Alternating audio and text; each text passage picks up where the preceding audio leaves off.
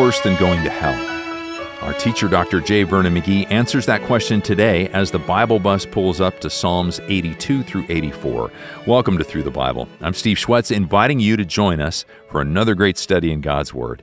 So if you can, turn in your Bibles to Psalm 82 and get comfortable. And while you do that, here's a few letters from our fellow listeners. First, we've got one from Shirley in Oklahoma.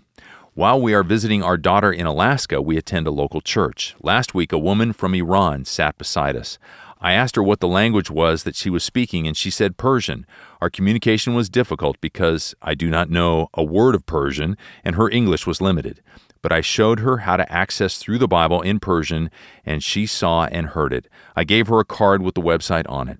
I hope to see her again next Sunday, our last one in Alaska for a while to see if she has downloaded the program.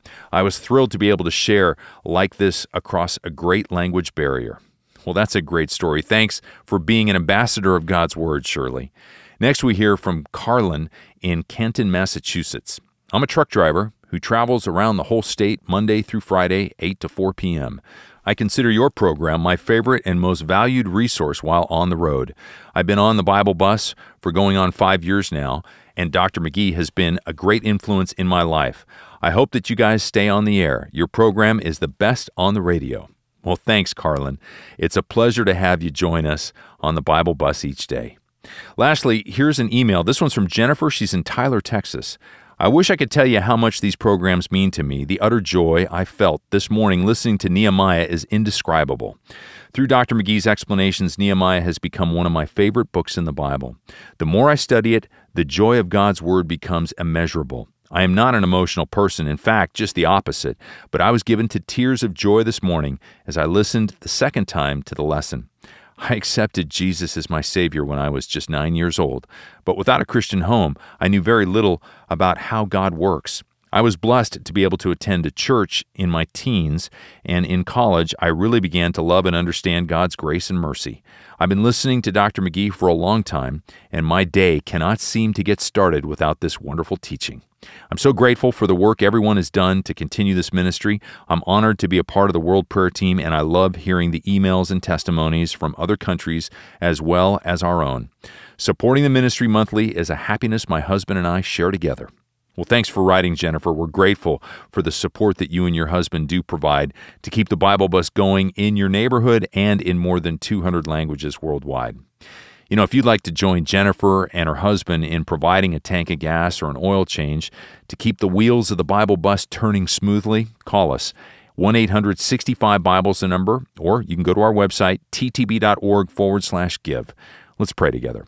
Heavenly Father, thank you for your word that's reaching millions with the good news of Jesus Christ. We pray it'll minister to each of our lives as we study it now. In Jesus' name, amen. Now let's go to Psalm 82 through 84 as we make our way through the Bible with Dr. J. Vernon McGee. Now, friends, we come here to the 82nd Psalm, and this is a psalm that very candidly has been very much misunderstood. The critic will turn to this psalm and more or less ridicule it. Those who deny the deity of Christ use this psalm. So it is important. And this is a psalm that is prophetic. It looks to the future for God's earthly people, for the nation Israel. And we see in connection with that the glory of the Lord. And it's wonderful when these are brought together. And we have here a prophetic description of the judgment which God will execute in the day when He saves the remnant. Now He begins on that note God standeth in the congregation of the mighty. That hasn't happened yet, and it will in the millennium. This looks to the future. And it says, He judgeth among the gods. Now, who is He calling gods here? It'll be important in a few moments. Verse 2 How long will ye judge unjustly and accept the persons of the wicked?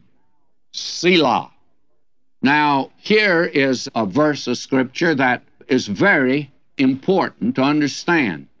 Who is he calling gods? He's calling the judges gods. And why does he call them that?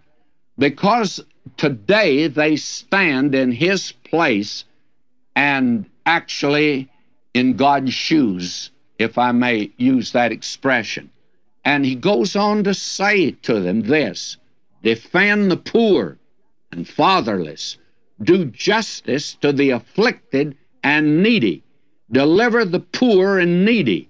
Rid them out of the land of the wicked. Now, here is something that is very important. When the Lord Jesus comes as the judge to this earth, He's going to defend the poor and the fatherless, the afflicted and the needy. These are the ones. Now, one of the big arguments today against capital punishment is that the rich always get off. The poor are the ones that pay the penalty. Therefore, we ought to get rid, according to that, of course, you ought to get rid of all law because the rich get off and the poor have to pay the penalty. And God is saying here to the judges, I want you to defend the poor and the fatherless. This idea today that is abroad of giving the poor an opportunity is not new at all. Just as old here is the book of Psalms. And God is saying He intends to do that someday. The Lord Jesus, the Messiah, when He is reigning on this earth, will defend the poor and the fatherless, the afflicted and the needy. And today, judges are to do that because they're in God's place and they occupy God's place. Now He says, deliver the poor and needy, rid them out of the hand of the wicked. And now we come to something that's interesting. They know not, neither will they understand. They walk on in the darkness, all in the foundations of the earth are out of course. And certainly today, the world is being shaken and is in great turmoil. And one of the great problems has been the judges of the earth and the judges of our land today. It's so very easy for a judge to be like Pilate, wash his hands, and say, well, I don't believe in that uncivilized method of punishing people by capital punishment. He can escape, you see that. Well, when anyone comes before him, he ought to remember justice is blind. And if it's a rich man that's committed a crime that deserves capital punishment, it should be executed. But unfortunately, very few of them have had to pay for their crimes. Now, will you notice? He says in verse 6, I have said, Ye are gods, and all of you are children of the Most High. Now, what does he mean when he says, Ye are gods? Now, the Lord Jesus himself, you'll recall, quoted that when they came to him and actually questioned his deity. Why, he answered them with this scripture here. They accused him, you remember, of blasphemy because actually he made himself God. He says, I and my Father are one. And they accused him of blasphemy. And the Lord Jesus said, Why, it's written in your law, you're gods. And he is saying to them that they are sitting in the place of judgment. And when you sit in the place of judgment, you're taking the place of God. And So many of the saints today are guilty of that type of thing. They sit in judgment on other saints. Well, Paul, you remember, said, I'm not judged to any man. I'm going to stand before him someday, and because that, I don't even judge myself. When you stand in the place of judgment, why, you're acting for God, and you're God's when you're judging. You've taken that position. And I'm fearful of our nation today with so many godless men that are seeking office because to begin with, they know nothing of the background of this country. They are not in spiritual tune with the founding of this nation that was founded on the Word of God. And I remember years ago, and I was greatly impressed by that judge in New York City. Was it the Rosenthals that were brought before him? And they were guilty of being spies. And this judge was a Jew. And he said that the night before, the next day that he handed in judgment, he spent that whole night in prayer I was impressed by that, my friend. Why? Well, because he was going to have to hand down a harsh judgment.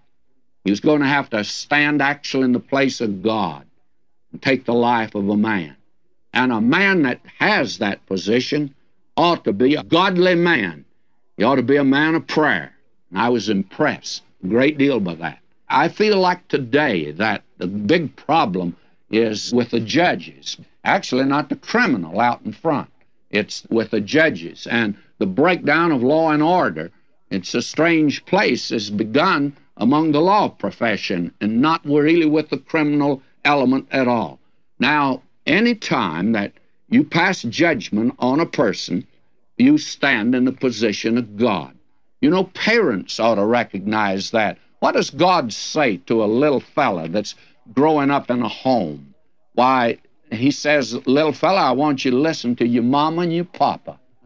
I want you to follow what they have to say. But wait a minute. Suppose Papa and Mama don't tell them the right thing and don't bring them up as they should. And they're a lot like that today. God says, I'm going to hold them responsible because they're in my place. They occupy that position. Because I have said to that little boy, My son, hear the instruction of thy father, forsake not the law of thy mother. And God help the father or the mother today that's not leading a child in a godly pathway. Someone said, What is worse than going to hell? And the answer that was given by a great preacher of the South years ago was to go to hell to hear the voice of a boy. And the father recognizes it and says, My son, what are you doing here? And the boy says, Dad, I followed you. May I say to you, friends, this is a tremendous verse. God says to the judges, You be sure you judge accurately, be sure it's just. You're gods, and all of you are children of the Most High. That's what he's talking about here. Now he says, But ye shall die like men and fall like one of the princes. Now you may stand in the place of God, but you're a human being, and one day you're coming down and you're going to have to stand before God. Arise, O God, judge the earth, for thou shalt inherit all nations. And that was a prayer and will be a prayer of the nation Israel. I'm not sure what I could join in that prayer today. Oh God, judge this earth. Oh God, you're going to inherit all the nations. This is yours. And judge the earth. That is a prayer I think that any can pray today. Now, may I move on to the 83rd Psalm. And this is a song of Asaph that we have here. And this is the last of the Asaph Psalms. And it concludes this series here of these Psalms that he has written. Now, this Psalm is a rather puzzling Psalm. The fact of the matter is, you cannot fit this into the history of the nation Israel. And certainly, since you cannot, why the idea is to guess at it. And there have been some wild guesses, by the way. Let me read here Keep not thou silence, O God, hold not thy peace, and be not still, O God. For lo, thine enemies make a tumult, and they that hate thee have lifted up the head whoever the enemy is here, he hates God, and that would be true of any enemy. But they are marked here. They have taken crafty counsel against thy people and consulted against thy hidden ones. In other words, these are some that have plotted the destruction of the nation Israel. Now, there have been those that have attempted to fit this in to the time of Jehoshaphat and there have been others that have attempted to fit it in at other times. The important thing for us to note is that God expresses their hatred here of God. And I believe that that would be true of any enemy. Now, it says here, and they're identified now, and we begin this section here that it's difficult to fit it into history. For they've consulted together with one consent. They're confederate against thee the tabernacles of Edom and the Ishmaelites, now that would be the Arabs, of Moab and the Hagarenes, Gebal and Ammon and Amalek, the Philistines with the inhabitants of Tyre, Assyria also is joined with them. They have helped the children of Lot. And the children of Lot would be, of course, Moab and Edom. Now you have here these enemies, and there's no place in history where you can fit this in. And that makes this, to me, a very remarkable section and has a real meaning because it would seem to indicate that it's looking forward to the future. And apparently, these nations that were in existence at one time will probably appear again. Now, Israel in the present state is surrounded by Arab nations, and actually, not all of them are Arab, that are apparently joined together, not so much as Arabs, but as those that are Muslims. They're opposed to the nation Israel. But apparently, in the last days, by these nations will come back into existence. And they're not there today, and there's nothing to correspond. So I personally think that this is a very interesting passage of Scripture, and I wish I had time to deal with it further. Now, from verses 9 actually, through the rest of this psalm, you have that which is an imprecatory psalm. It's asking God's judgment, and it is a retrospect of the past in this sense. He is saying, Judge as you've done it in the past. It says, verse 9, Do unto them as unto the Midianites, as to Sisera, as to Jabin at the brook Kishon. Now you go back and read the story in the book of Judges of how these nations were judged at that particular time. And there are those that say, oh, God will never do that in the future. He won't. He's done it in the past, and God hasn't changed, friends. If He's done it in the past, He'll do it in the future. And I think that is the reason this is impressive. He says, just as you judged them in the past, do it in the future. And this is an imprecatory psalm. I don't think we should pray this kind of a psalm today by any means. We should, we're told to pray for enemies. Well, what should we pray? That they keep on being our enemies? No, that we pray they be converted, that they turn to God.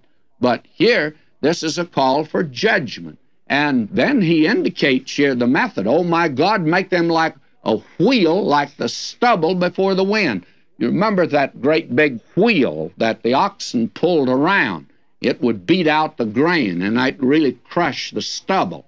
And now he's saying here, deal with them like that. And then verse 14 is the fire burneth a forest, and as the flame setteth the mountains on fire. But be like a forest fire to them. This is a call for judgment, you see. And then it concludes on this note that men may know that thou, whose name alone is the Lord, art the most high over all the earth. And that name, the Lord, is Jehovah, that the world might know. And I'm convinced that the only way that this world is going to know that God is God is for him to move in judgment. The goodness of God ought to lead man to repentance, but it doesn't. It should. And if man were at all sensitive to the presence and person of God, it would lead them, but it drives them actually farther away from God and an affluent nation.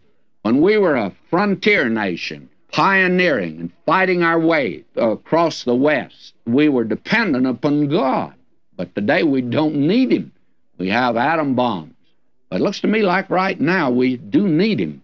Now we come to the 84th Psalm, and here again the Leviticus character, this section, comes out. And this is a psalm of the sons of Korah. Now, the sons of Korah served actually in the temple, first in the tabernacle.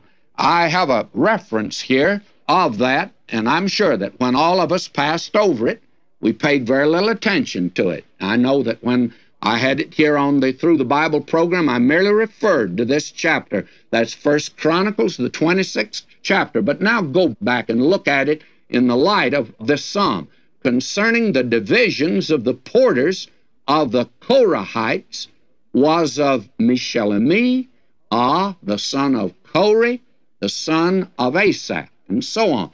Then it has this long list of that family of the Korathites. Now, Korah led the rebellion, you remember, one of them that led the rebellion against Moses, and he was judged. But now, by the grace of God, they're Levites, they're serving in the tabernacle and here in the temple of God. Now we read in verse 12 Among these were the divisions of the porters, even among the chief men, having Judas like one another to minister in the house of the Lord. It says they cast lot that for every man a gate. Now that means these men, strong, robust Levites, they guarded the temple. They guarded the tabernacle and then the temple. At every gate, they were there to watch over it. This is a remarkable psalm. And in view of that, why we have here the temple and tabernacle called to our attention. Listen to the way it begins. How amiable are thy tabernacles, O Lord of hosts. How wonderful that this is. Listen to him now. My soul longeth, yea, even fainteth for the courts of the Lord. My heart and my flesh cry out for the living God. Is that your heart cry today? Do you love to meet with God's people? And I recognize today that in some churches you don't get much fellowship, and you get more gossip and criticism than you can get anything else. But my friend, that's the place for fellowship. And there's some wonderful churches about over this land. I hope there's one in your neighborhood where the Word of God is preached and Christ is exalted.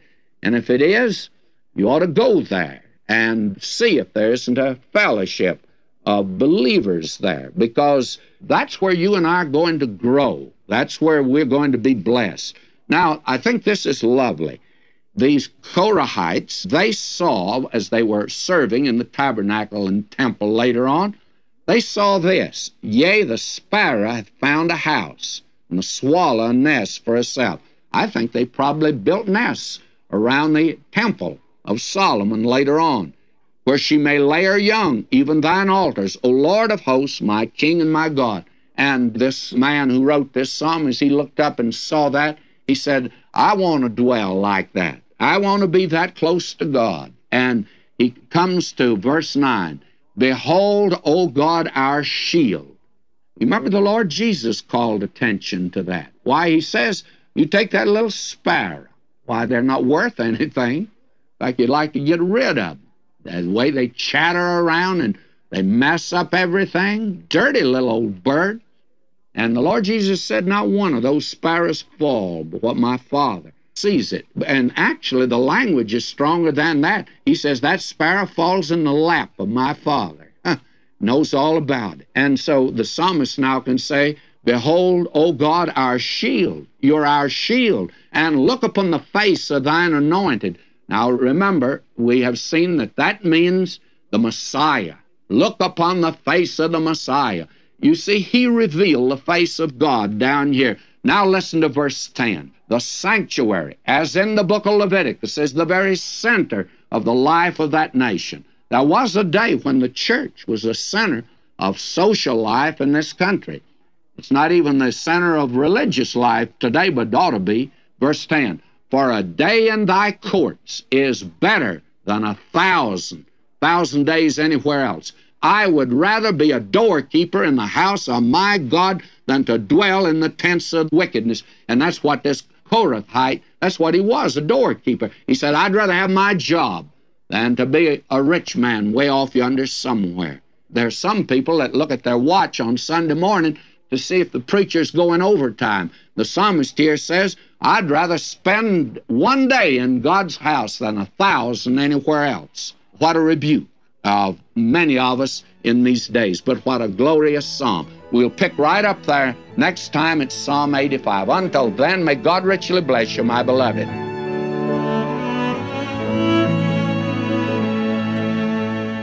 You know, you can share today's message with a friend or family member by directing them to ttb.org. Or why don't you send them a link to our new Bible Companion for Psalms? With a terrific synopsis of Dr. McGee's teaching and great questions to go deeper, I'll guarantee that they're going to love it. You can find it for free download at ttb.org, or you can always call us at 1 800 65 Bible if we can help. Again, that's ttb.org and 1 800 65 Bible. And then be sure to join us next time as our tour through the Psalms continues on Thru the Bible. I'm Steve Schwetz, and I'll save you a seat. Jesus